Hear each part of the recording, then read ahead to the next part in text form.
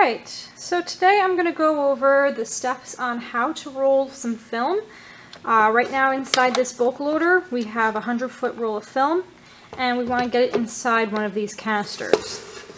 Okay, but first let's take a look. There are three different kinds of canisters. There are two that are metal and they have uh, this type of spool inside where it has this opening in it that you can see through and they have caps on on both ends. Then there's the plastic which just has the cap on one end and they have the solid spools and it is important to use the correct spool with the correct canister so that it loads inside properly. Okay, but after that the steps are exactly the same. So I'm going to use the plastic canister. And the other materials that we need are a pair of scissors and a roll of tape. I'm going to take some tape, about two to three inches of tape.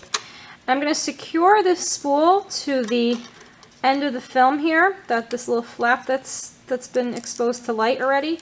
I'm going to put the tape on and I'm going to wrap it around the back all the way to the other side until it touches onto the film. And then I'm going to give it a little pinch and roll so that it's on there secured all the way around. Pick up my caster. It is important to make sure that we are putting this on the right direction. There is a flat piece of plastic here and then it curves away from me. Okay, and then this it just meets right back up with the opening. So you want to make sure that flat piece of plastic is facing the sky and we're going to slide that on. Okay. Also on this spool we want to make sure that this knob and this knob are facing each other. Put that on and then take the cap. Okay, it's got a little point. We're going to put the point facing up and then we're going to turn the point till it locks into place with the canister. Secure the canister inside the bulk loader, close up the front flap.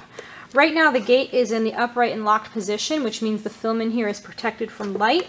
But now we need to open the gate so we can allow the film to flow forward and into the canister. Make sure this is all nicely locked together. And you're going to roll away from you and count to 15 to 20, uh, even up to 30, depending on the size of the roll of film you want to make.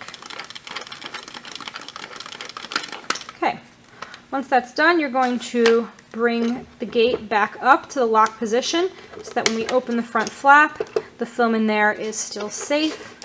And we're going to release the canister by pulling apart both sides of the bulk loader and pulling some film forward. Notice that I pulled the film from inside here so that um, I didn't waste the film, I just spent the time rolling into the canister.